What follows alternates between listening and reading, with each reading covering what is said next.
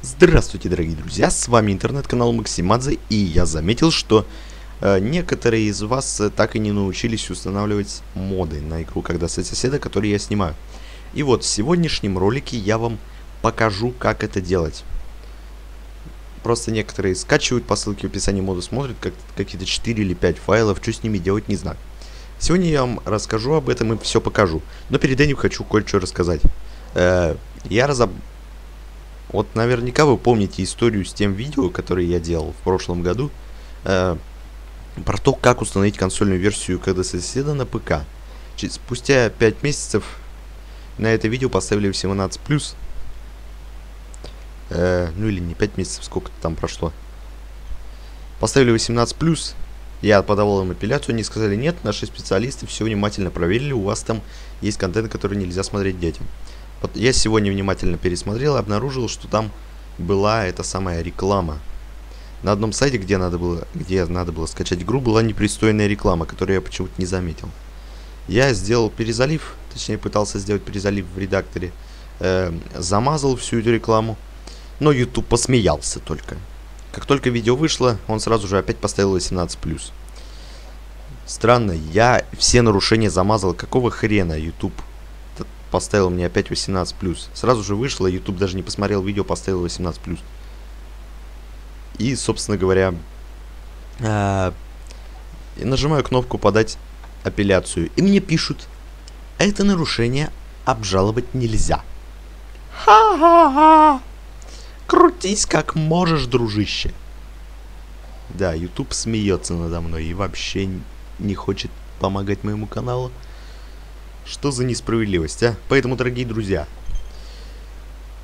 вот что я вам посоветую. Когда регистрируете свои аккаунты, ставьте, что вам там 18 или больше, а то некоторые ролики не сможете посмотреть.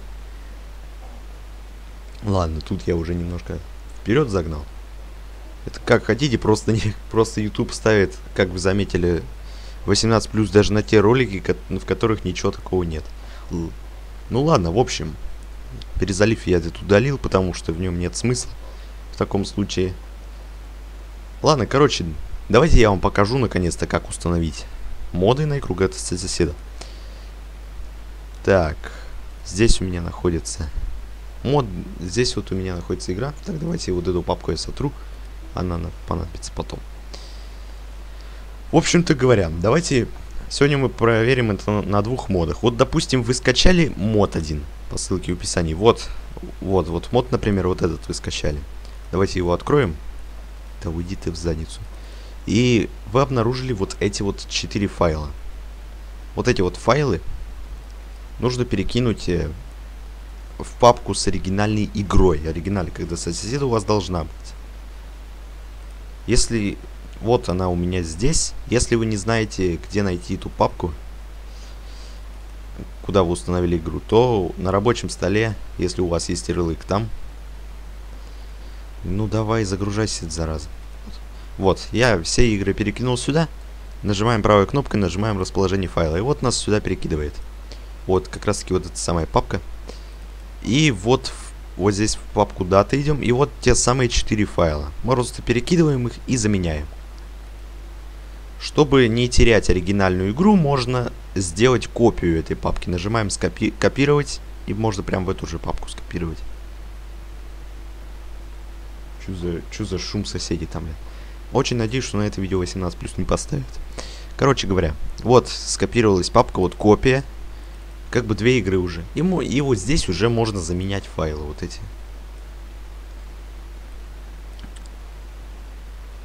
Заменить файлы, да. И что вот это за файлы? GFX дата.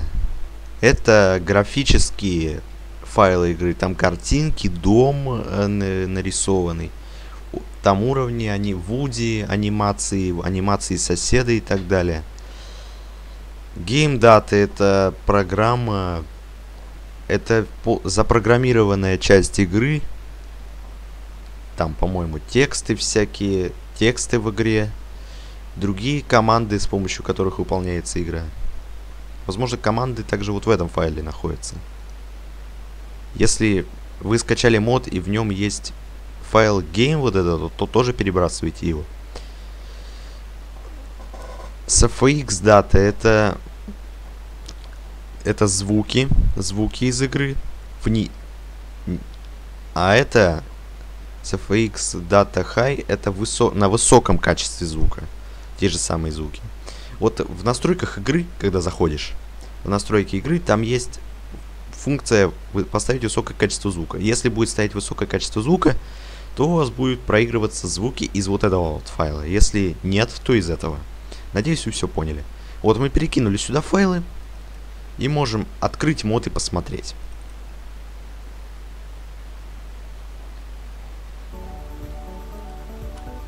Вот мы зашли и можем смотреть.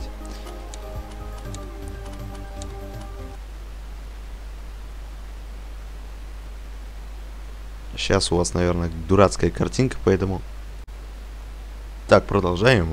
У вас просто могла картинка испортиться. Ну и давайте еще один мод посмотрим. Некоторые моды могут выглядеть вот так. Да иди ты в задницу, я сказал. Могут быть сразу две папки bin и data. Обычно такие моды запускаются проще. Нужно просто войти в bin и нажать GameX.